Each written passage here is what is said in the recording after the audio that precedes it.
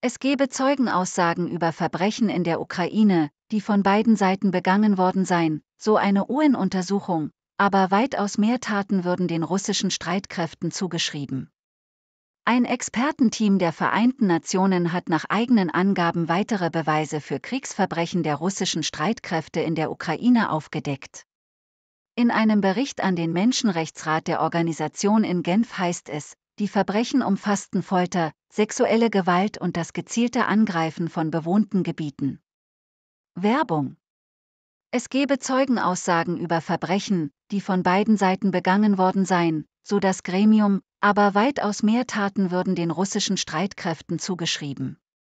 Frinda Grover von der UN-Untersuchungskommission sagte bei der Vorstellung des Berichts in Genf, wir bedauern, dass Angriffe der russischen Streitkräfte auf zivile und medizinische Einrichtungen, die einen geschützten Status haben, weiterhin stattfinden. Die Kommission bedauert auch die Tatsache, dass konfliktbedingte sexuelle Gewalt unter Verletzung des humanitären Völkerrechts und der Menschenrechte weiterhin stattfindet. Haben russische Medien eine Anstifterrolle gespielt?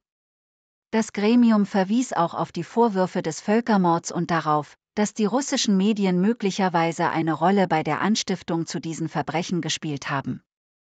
Erik Mose von der UN-Untersuchungskommission erläuterte, wir sind über die Anschuldigungen des Völkermords sehr besorgt und werden diese Fragen weiter untersuchen.